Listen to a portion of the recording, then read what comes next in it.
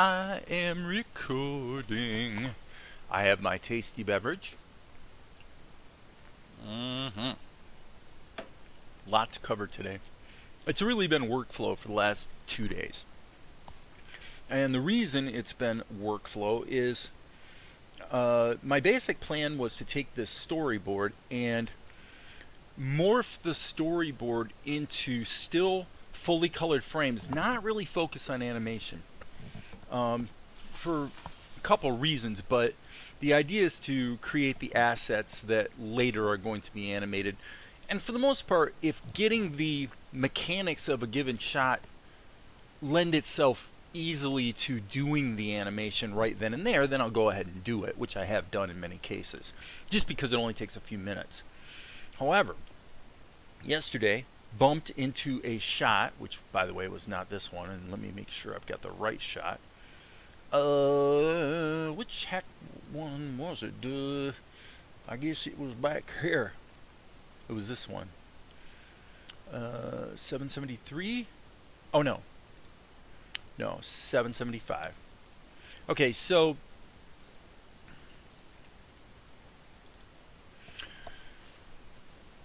So I'm going to take this shot of TNR out and kind of show what I what I was doing here.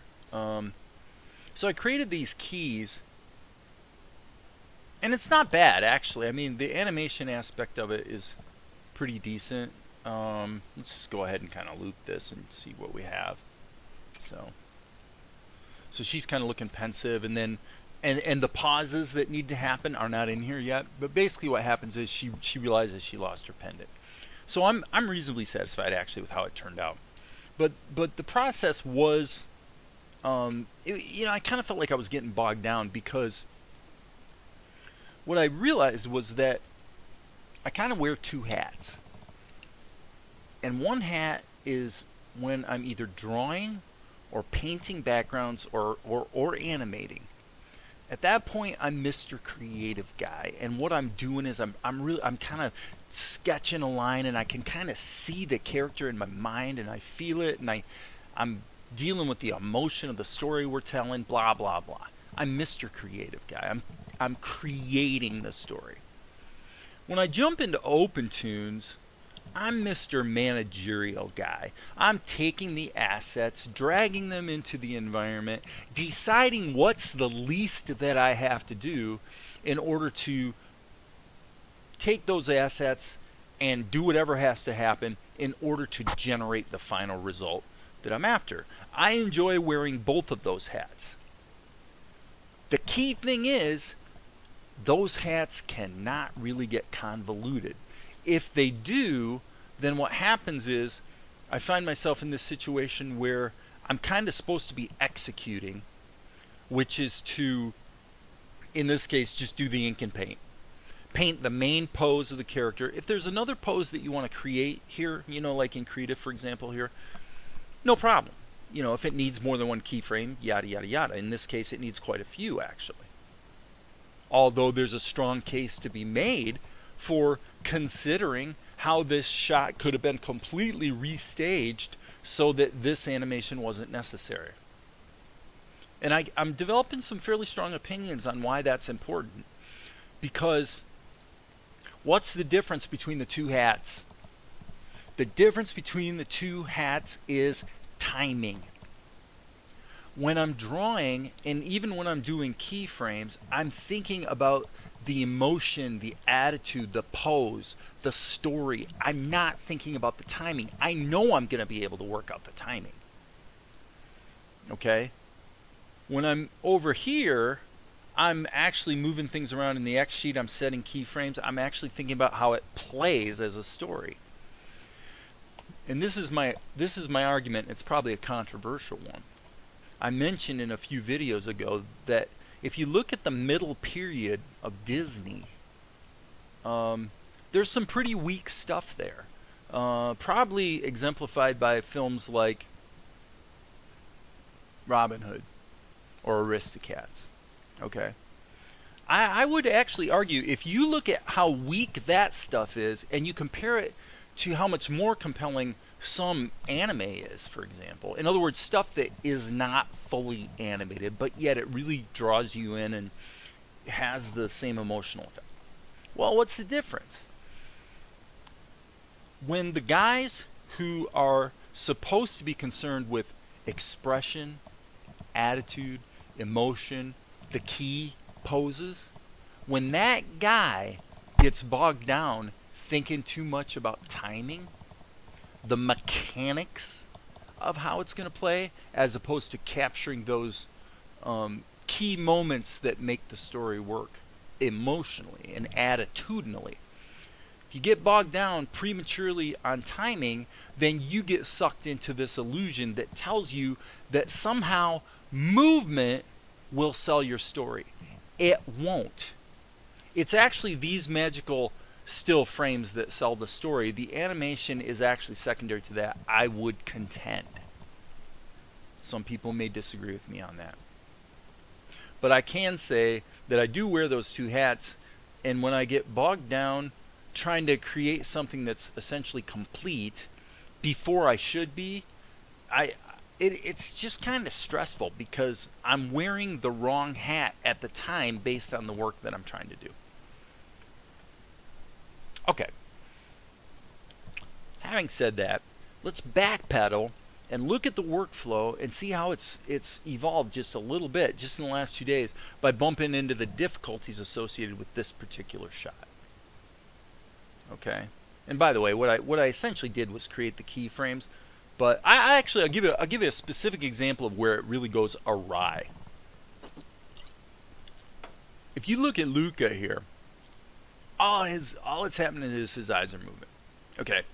If I'm in Mr. Drawing hat mode, I'm creative mode, I'm just going to draw the initial pose. Obviously, Luca doesn't have a mouth yet, but I'm going to draw the initial pose. I'm going to do the whole thing. If I do ink and paint, I'm going to obviously complete the entire um, pose. So that's what we have here without a mouth. Now, if I say to myself, okay, well, wait, his eyes, I want his eyes to dart. You know, I want his eyes to kind of go, do this because that just brings him to life, you know, so you can tell he's really thinking and he's concerned or whatever. The way I'm typically going to do that here in um, in Krita, if I'm if I'm kind of moving fast and I'm flying along, what I'm actually going to do, and I'm going to save this so I so I can just kind of like not um, not get bogged down with um, hang on. X, Control X, Control V. Okay. I'm going to go over here. Control X, Control V. Okay, so now what I did was I put the two eyes on separate layers. And if you take them back out, obviously you have a little bit of a problem, right? Okay, so that's okay. I mean, come on. It takes... How long does it take to, to patch this? One second? one 1000, two 1000. Okay, so it takes two seconds to patch this just so I know that the eye thing is going to work. And now I can actually um, marry these two together and just hit the animate or the uh, whatever it's called, the transform tool. And I could just set some keys, you know. Okay, so it is a surprisingly important question to ask when should that happen? And basically, the answer is when it shouldn't happen is when you're in the process of doing ink and paint and just trying to get these frames, you're building up the what I would call the static assets. We're not focused on movement, we're focused on the poses that are going to make the movement later. And oftentimes, there is only one the static image is in fact all you need because you're going to use the plastic tool or the animate tool or some techniques I'm going to show in Blender uh, which kind of takes the OpenToonz plastic tool and puts it on steroids actually. Um, so my point is this isn't clean but man is it quick and dirty to, to, to, to set that up so you can go ahead and animate it later. Now I've got my individual layers. You know, this is on its own layer, so I can export that and bring it in OpenToonz, do the animation there. If it's simple enough, I could do it in Krita, whatever. You know, it's not like there's a rule, okay? But, okay, so I've kind of explained why this problem of wearing Mr. Creative Hat and Mr. Editorial, Managerial, Logistical, Task-Oriented Execution Guy hat are two different guys. Uh, maybe you're not that way, okay? But I've been thinking a lot because I'm trying to do what I'm trying to do faster than conventional wisdom would say is possible. You know, can one person by themselves create this whole cartoon that's an hour, not an hour long, but it's close, you know, in a reasonable time frame? And I contend that you can. So the first thing I'm going to show today, let's see how we're doing on time. 10 minutes, okay, cool. The first thing I'm going to show today is one way that's just so simple and economical that it really turned out to be a big win, which is this. I've got this image viewer called Farstone Image Viewer, Faststone, I'm sorry, Fast, F-A-S-T, Stone Image Viewer. It's just, it's just like a, uh, you know, it's like the Windows Explorer. It's just a file browser that shows you thumbnails. It's kind of cool that you can there's a couple things nice about it that you can do. Number one is I can actually set the size of the thumbnails to be bigger or smaller than what I have here. Got an instant preview. I can show it full screen if I want to. Um, and I can hit the E key, which I'm not going to do, which will automatically open the current file that's selected in Krita. So as an image viewer, it's quite useful, but here's the killer feature that I didn't even realize until yesterday because I was really thinking about this problem. I've got these poses from my storyboard. What do you do if you're using the storyboard as sort of the authoritative authoritative source of what's the flow of the story? What's the editing of the story? What do you do when you realize that there is something that's out of sequence or worse, you realize that you need an additional frame in between two frames. That sort of thing. Especially because in many of these OpenToonz shots, we actually have the image sequence. So if we and you saw this happen with the Toonz level with the Toonz raster levels which is all one single file is that if you introduced a new frame let's say in between these two boom all the scenes that reference that TLV file are broken. Okay? Suck on that for a minute and think about it. So, the further you get into the project, potentially the greater the odds that one change is going to break everything you did before, and you're going to have to go back and spend two hours fixing all those scenes. You can do it. The fix is possible, but it's a pain. It's a major pain. Well, here's the killer feature. The killer feature is that Faststone Image Viewer you can't okay in in in this folder all you see are the qualifying image formats that it understands. Well it turns out there's actually another file in this folder that it put there and it's called fssort.ini it's just a simple text file. But what it is is it's just a list of file names that are in the current folder. Well who cares Think about it. It's called FS sort. And I thought about that. I thought, wait a second. If I need another shot here in between these two, let's say I got let's say I'm going to come back to this wide shot from up above. I can go control C, control V.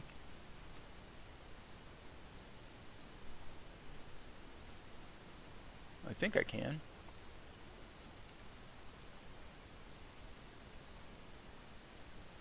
Just going to go Control C,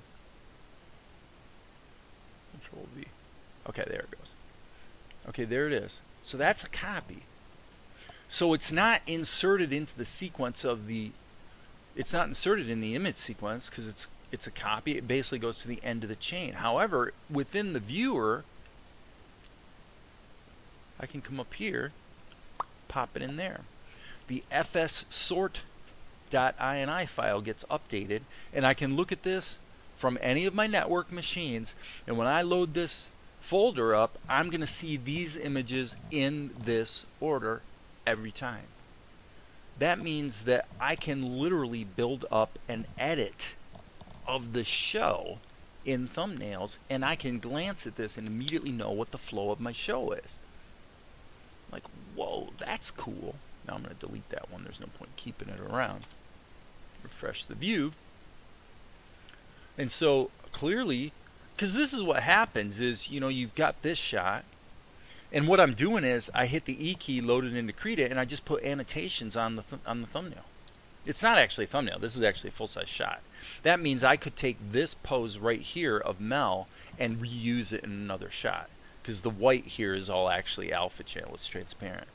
So that means every every time I use a character in a shot, they're already ready to be used in another shot, which happens a lot of the time. So this shot, this shot, and this shot are actually all just slight modifications of the same shot. Now I'm getting some pretty serious leverage. Okay. So I recommend the Faststone image viewer. Um, I'm checking my notes here about what I wanted to cover.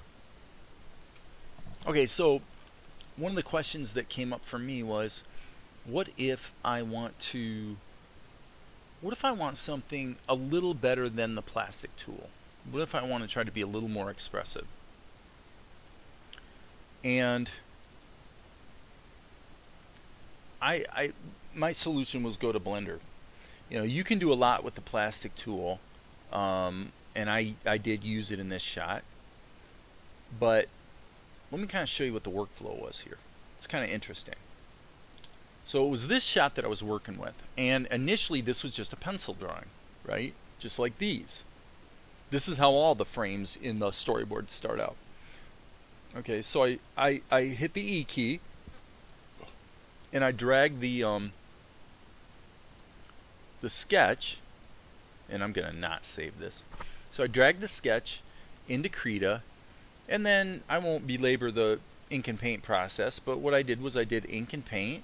I added a shadow layer. Um, actually, significantly, I didn't add a shadow layer. What I did was I just, I just, this is what I had. And I saved that out and I said, okay, what if I want to get a little more control over the animation of this character? Okay, so here's here's what you do. And we'll just go ahead and save this and I guess we'll kind of redo from scratch. In Blender, and I'm I'm using Blender 2.79, you guys know I'm not a Luddite but I am not a Blender 2.8 fanboy yet. Uh, and, it, and let's be fair, it took about eight years for me to really be sold on Blender 2.5 series. So I'm sticking with it for the moment. but here you, you go, you want to go to the mesh menu, images as planes, which is a plugin, yeah, but it's it comes with Blender 2.79. So basically, Blender 2.79 portable is what I'm using. Okay, so in my viewer here, I can I can look at uh, thumbnails. So I'm going here, and I'm going to look in the extras storyboard folder. Okay, so I scan down here, and what I find is this. Okay. Now over here I'm going to make it shadeless just because I, I don't want to mess around in this particular case with adjusting the color um, either using lights or by turning up and down the emit level. I just do shadeless so that what I'm going to see in Blender and what's going to render is exactly the image that I created in Krita. So I bring that in. Boom. Okay. You say, well, wait a second. Isn't this right here a bit of a problem? Well, actually, it's not. I can just come over here into the uh, into the UV editor, and I want to use a pencil doing erase alpha, and we'll just make it kind of big. And for our purposes, we can just erase the alpha. Now, that means I can do what I'm about to do and render it all out. And when I load the project again later, if I haven't deleted the annotation here, then the annotation will come back. I'll have to erase it again. Okay. What I could do is I could actually pack the image into Blender. Okay, so let me see right here. Open image.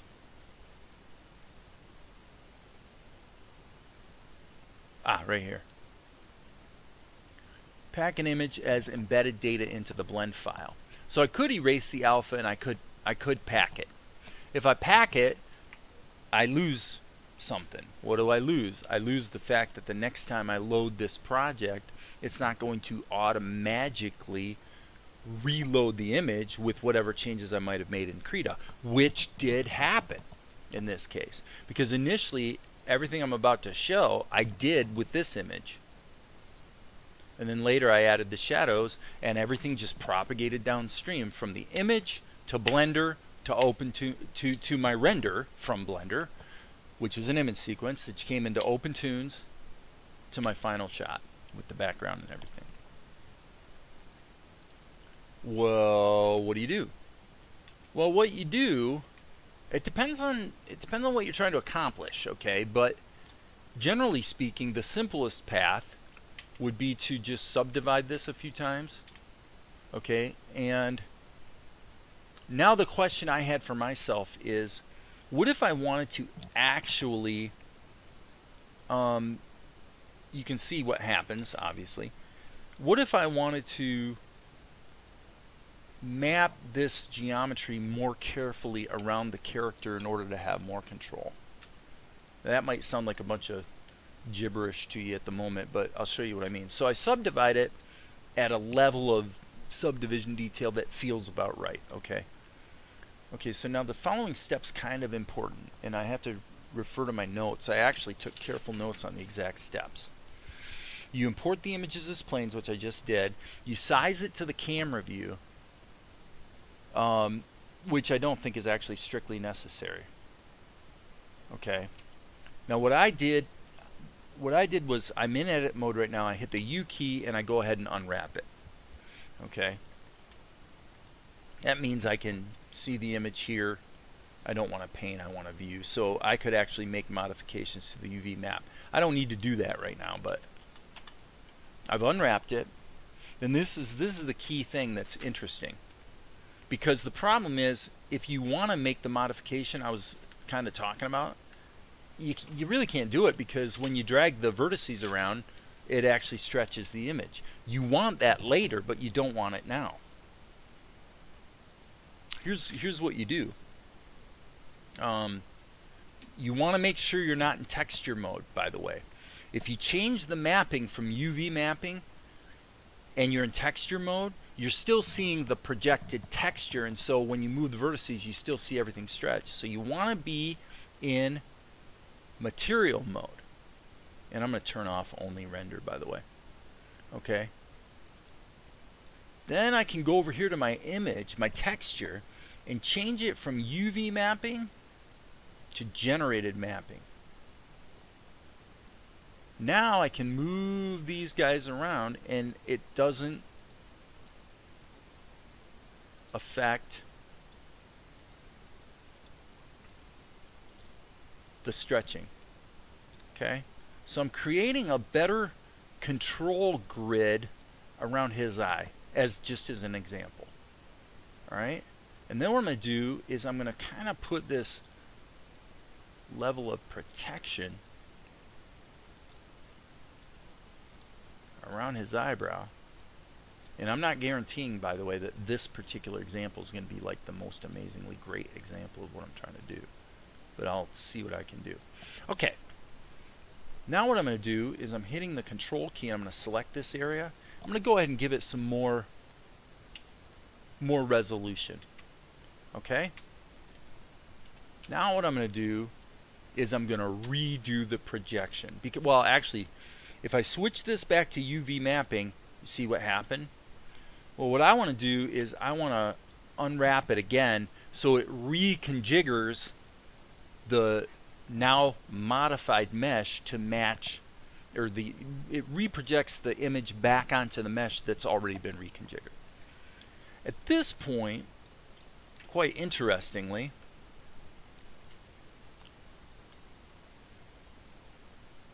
I can really get detailed with my character. Now I'm going to actually hit undo a couple times here. And now what we're going to do is we're going to go over here to the AnimAll plugin. And we're going to animate points. So at the beginning of my animation, I'm going to just do an insert, inserts a key. I'm going to make this the dope sheet, not the grease pencil, so I can actually see my keys. And now I'm not going to I'm not going to deal with timing. I'm just trying to see if I can do something that lets me avoid drawing more frames you know, and potentially getting a little off character, you know? Can I solve the animation problem that I have at hand as efficiently as possible? There's many cases where this is not the most efficient method, okay?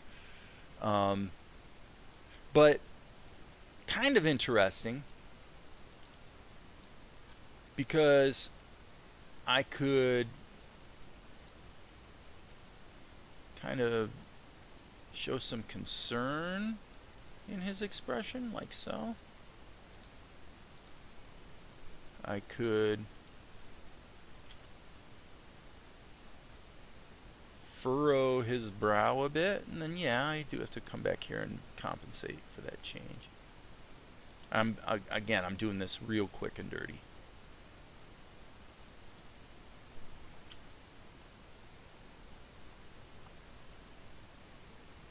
Okay. Now here will be an example of what, what happens if you don't increase the resolution. Actually, it works really well a lot of the time. But you do, do have a lot of control. You could take, uh, for example, his entire head, like so and then I'm going to hit the period key so that it rotates on the cursor not on the center of the selection and I'm just going to go ahead and give that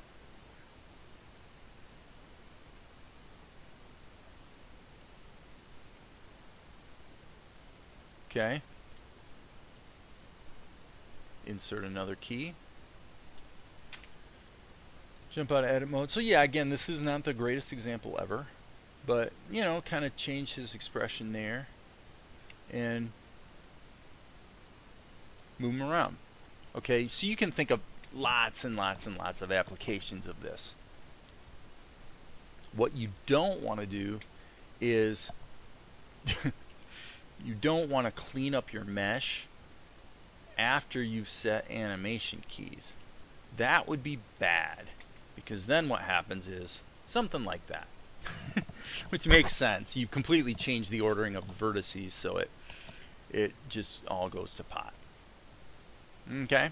But anyway, this is the actual shot with the actual animation that I did. And then what I what I what I did was I had Blender render this out uh, as just a three frame image sequence. And then when I brought the shot into Cre or into OpenToonz, because Blender uses the same naming convention that Krita and OpenToonz do, which is file name. If you if you put in a file name in Blender that you're going to save your rendered images to, and you add a period at the end of it, then it'll go file name period four digits, which is exactly what OpenToonz wants. So then, if I go into my um, my scenes scene number 777 has Luca animation in a folder. I just drag the first image. And by the way, another thing about Faststone Image Viewer is look at this. I can just, you know, I can preview it. I can actually fiddle around with, um, I, I could actually make modifications to one image at a time, save it back, you know. I'm actually finding that just flipping, like old school animators did, is a really good way to get most of the way there in terms of whether your shot's going to look the way you wanted it to. So I just anyway I just dragged the the three image sequence into OpenToonz, and I decided I I wanted another key. Okay, so what you have is this that that key right there is actually caused by the plastic tool. I just added one little key and then I have the plastic tool level stop here because here, boom, it switches to the other um, keyframe from the sequence. Alright, so then when we play it, oh, it looks pretty good. This is Lucas saying, oh geez, if they uh, TNR realized that she lost her pendant. And so in this shot, Lucas says, well, if the soldiers find it, they're going to know that I lied. Okay, so we need to add lip sync to this shot. So that's that. That pretty much covers the the integration of Blender. Um, yeah, that's it. That's everything I was going to cover today. So it was good for me to, to go through this because it's resetting in my mind the steps that are taken. But I like the I like the um, what is the word procedural nature of this workflow where I can um, looking for my mouse boom there it is I like the fact that I can go from a storyboard to a Krita file to um, scenes to a folder. This is where the batch file that does the conversions that I covered yesterday. Here in the scenes in the scenes folder, if I save a MyPaint ORA file, Krita gives me a warning and gives me the ability to save it also as a Krita file at the same time. So it retains all image or all animation keys, everything that the ORA file doesn't understand. So they're both saved together. And then I just run this batch file right here that will unpack the ORA file, create a folder, put it in the folder, all the images that are in the Krita file are then uh, separated out. They're ready to use. And then the ORA and Krita file are both moved into this folder that was just created. So everything associated with this shot is in the same place, with the only exception being the storyboard. The initial storyboard drawing is up here in the storyboard folder. So it's not a perfect system, but it's it's pretty solid. And so, uh, you know, one of the biggest things that recommends Blender in these scenarios, by the way, is that doing a 3D camera move is actually a little like getting parallax. It's a little easier and more predictable in Blender. Enough said about that. I, it's just something I've noticed. Um, so I think that's it for for now. Um, this is the more or less the final shot. I just need to add lip sync to it. And so back here, I just put an annotation on the storyboard that says still needs lip sync. So now needs OpenToonz lip sync. So I can look at any of these shots and I know what their status is. This was done, it's number 772. This is done, it's number 773. I, I did not go the, the first one, two, three, four, five, six, seven, eight shots that I did, I have not gone back back and annotated the uh, the uh, storyboard. But duh, I mean, you can see it's a full full color image, so therefore it's a pretty good clue that maybe that shot is done. But this is where I'm working now. The, basically, you've got a sequence that kind of begins here, um, and so I'm I'm going ahead and doing this sequence more or less in order to get back up to here and then we'll continue working backwards. So anyway, that's it for today. As you guys know, there will be more later.